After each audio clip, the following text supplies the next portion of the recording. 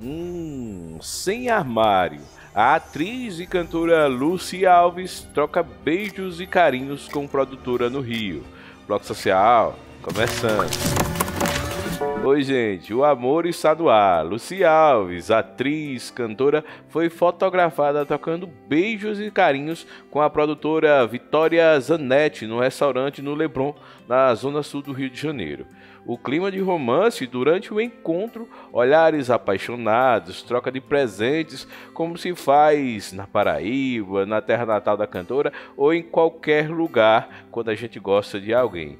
Muita gente ficou surpreso, muita gente não sabia da opção ou da condição sexual da Lucia Alves, mas muita gente apoiou. Vitória Zanetti tem 28 anos, trabalha com produção de cinema e televisão e também é assistente de direção.